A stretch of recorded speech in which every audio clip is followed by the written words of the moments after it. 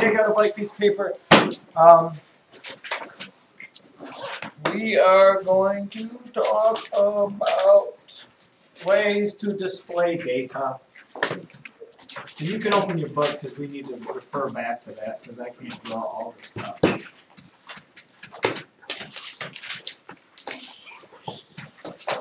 Some ways that we display data. The first one that the book talks about, if you're on page two hundred sixty-four, page two sixty-four, is a pictograph.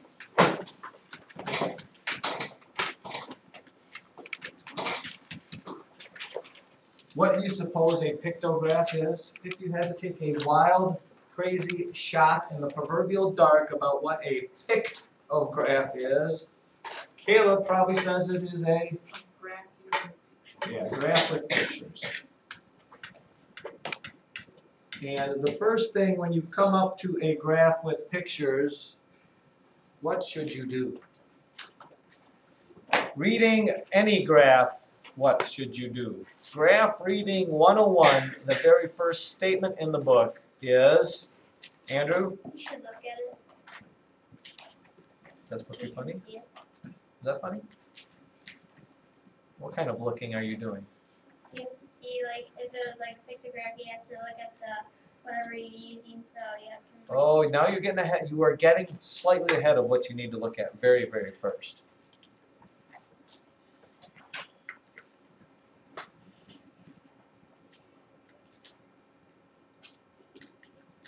First, you should look at, Landon, not even the key. I would say the key is second. Logan? The Yeah, the titles and the labels. What's the graph about? And in this case, you look at this one, and this graph is about what? What is this graph about? Brooke says in her loudest whispering voice, cars. Production in trucks. You ought to know at least what you're talking about. I'm talking about how many cars and trucks are produced. Then, you're gonna look at the key. And in this case here, and the labels on the graph. Because then I look at and say, oh, okay, this thing, what is it, what's it tell me about? Uh, car and truck production in five states, it tells me how many cars and trucks are produced. And then the key tells me what? And the important thing with pictographs particularly is you need to know how much each car is worth. What is each picture worth? And in this case, it's worth how much? Each car on there is worth how much? Anybody? Just me? Cars or trucks? What's it worth though? If I see one car there, what does that mean, Andrew?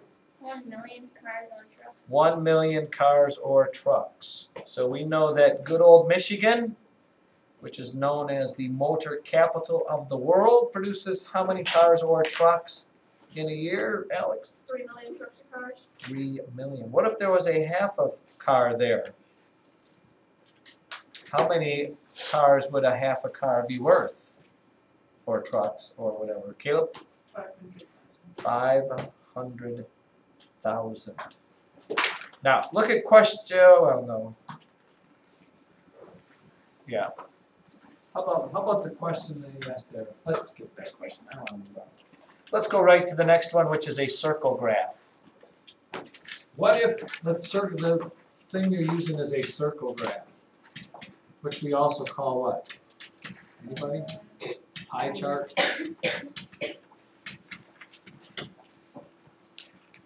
A pie chart. When do you specifically look at and use pie charts?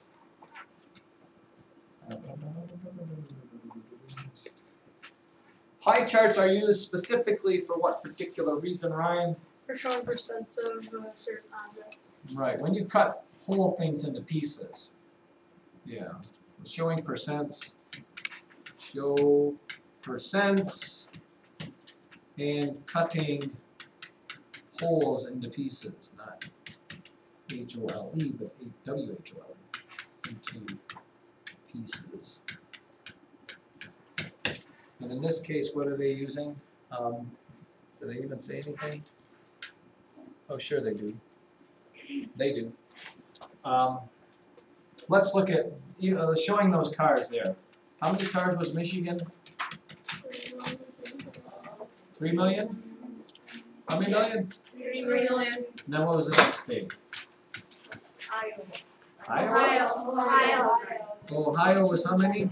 Two million. Two million, and then there was Kentucky. Kentucky, which is, Uh, one million. and then there was, Missouri, which is, one million. and then there was, Other states, which was, five million. I wanna know those other states. Other. Okay. If I, and why would I want to show this in a pie graph? Because it's a lot easier to look at pictures than it is to look at numbers. Okay, so I know, you know, Michigan gets a bigger piece of the pie than the other states, but, I mean, Michigan gets a bigger piece of pie than Ohio, Kentucky, and Missouri. Did I miss a state? No. Okay, oh no. There. How do I know what part of the circle Michigan should get? By the way, when we call, when we count pieces of circles, we call them sectors. Next time you have your pie, Christmas pie, you could ask your mother for a sector of the pie. A bigger sector or a smaller sector, she will look at you and say, wow, you must be very smart. Wait, we got lights back again, what? How do I figure out what piece of the pie Michigan should get? Alex? By first adding all the numbers together. Alright, we need to know how many total cars that whole circle stands for, and how many total cars is this? Five, six, seven, eight, nine, twelve.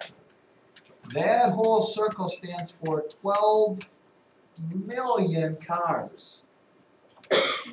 Yes, you with me? Yes. So what fraction is Michigan responsible for? Three million out of twelve million, do you know what that reduces down to very easily? By the way, since these all end with six zeros, you could get rid of all the zeros completely. It'd be the same as three over twelve. Michigan is One fourth. three twelfths, which is one fourth. Now, still, I'm not guessing at my circle. I know it's a quarter of my circle, but how do I make a quarter of a circle perfectly in math? Well, the first thing I have to understand is that this circle is how many degrees? Anybody? Three hundred sixty degrees. So I need to take three hundred and sixty degrees and cut it into fourths. If I take three hundred and sixty and quarter it, I end up with, yeah. But what, is- how many degrees is each piece? Ninety degrees. And you would have your little protractor here, and you would draw a nice little ninety degree circle. And this would be the great state of Michigan. Anybody from Michigan here beside me? Yes, in Jo Daviess County or Clinton Township or something like that. Remember it at all? How long has it been since you were there? Um, I moved when I was three. You don't remember anything. you? Okay, let's look at good old Ohio. Ohio is what fraction? Two over twelve, which is what fraction? One sixth. If I take three hundred and sixty, cut it into six equal pieces, how big would each piece be? Six into three sixty, come on mathematical wizards. Sixty degrees, which means it's gonna be about how big, let's just guess. From here, if I did a sixty degree angle, it would probably be a lot like this. This is Ohio.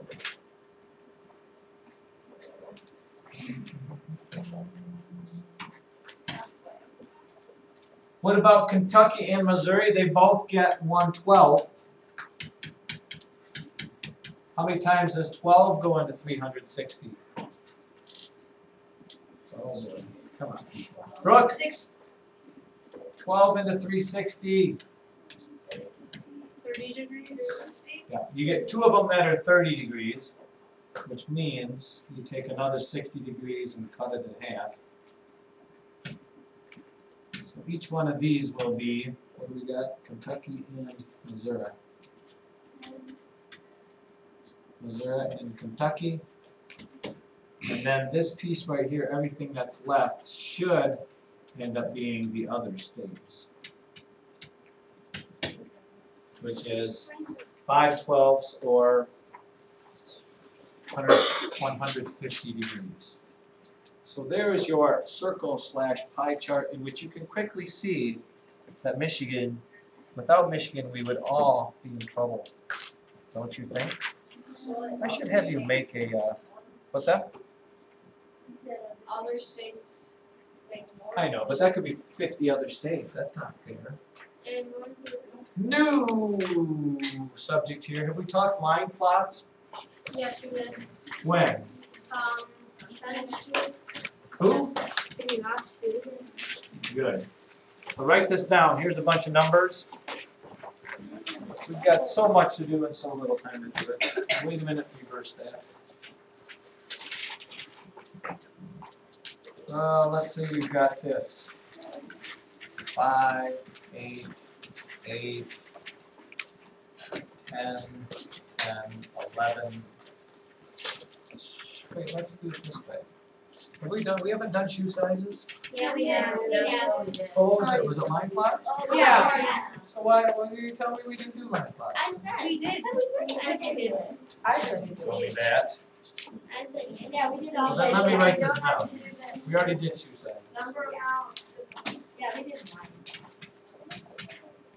You're making me redo stuff that I already did.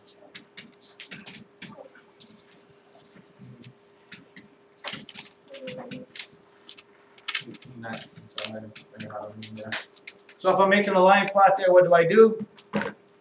I got my raw data up there.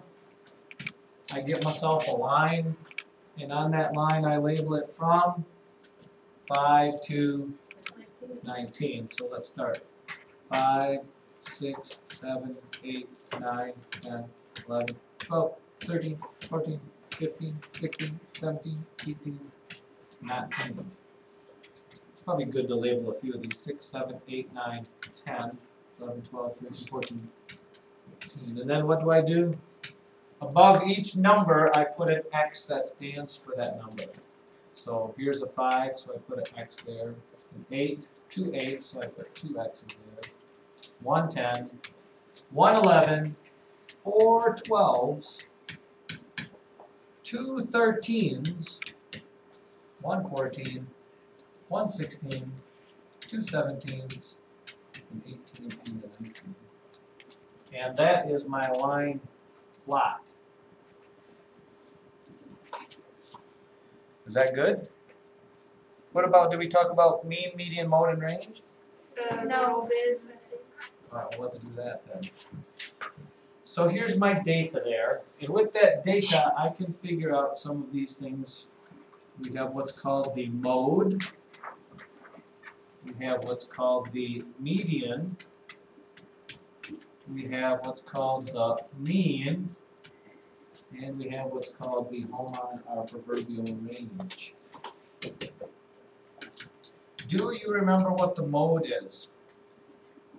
Anybody? Just remember the first two letters there. Mode is the number that happens the Most. most. So in this case, the number that happens the most is Well, twelve. Median is the middle number. Now that you have to be careful with. What number falls in the middle? The way to figure that out is you need to know how many total numbers you have. One, two, three, four, five, six, seven, eight, nine, ten, eleven, twelve, thirteen, fourteen, fifteen, sixteen. I have seventeen numbers. Yeah, I have seventeen numbers. What number, by the way, if it's an odd number, there will be one exact number in the middle. What number falls exactly in the middle of seventeen numbers? Number, Ryan? Nine. The ninth number over. Why? Because The ninth number over has eight numbers on this side of it and eight numbers on that side of it. It's exactly in the middle. If it's odd, it has an exact middle. One, two, three, four, five, six, seven, eight, nine.